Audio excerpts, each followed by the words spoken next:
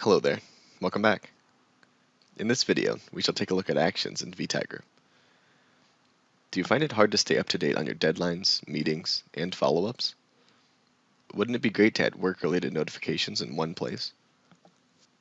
Let us now explore how Vtiger's actions acts as a one-stop solution to view alerts and reminders.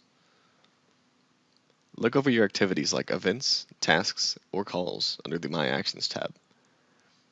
Sort activities based on the scheduled time, like overdue, today, coming up, or month-wise.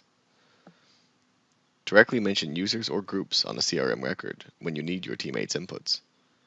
All of these mentions are shown under the Mention tab. Stay updated on the actions on a record on a regular basis. Updates on the record you follow are shown under the Updates tab. Find all of the actions your customer performed on the email you sent under the Engagement tab. You can customize the alerts based on your preferences.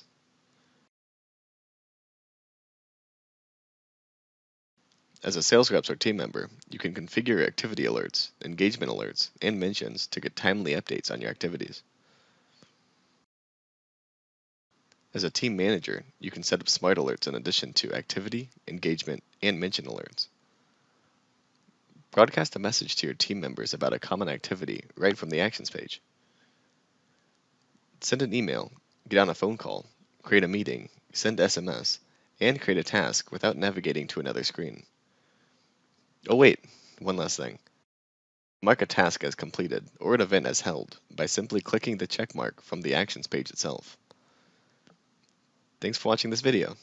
Take a 15-day trial to see all of the Vtiger v9 features in action. Or sign up for our forever free pilot edition to get started on your CRM journey.